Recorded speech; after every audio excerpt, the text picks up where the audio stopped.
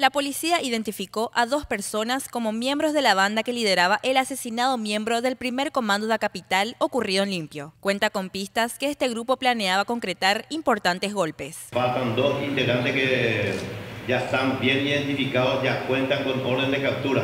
La prueba balística reveló que la pistola Jericó incautada en este procedimiento es la misma utilizada en el asesinato del suboficial primero Agustín Duarte, registrado en Arroyo y Esteros. Por su parte, el comisario Abel Cañete señaló que con la muerte del brasilero, miembro activo del PCC, identificado como Leandro Mariano Mato, se controló la presencia de esta temible banda criminal en el departamento central. Podemos decir que tenemos controlado.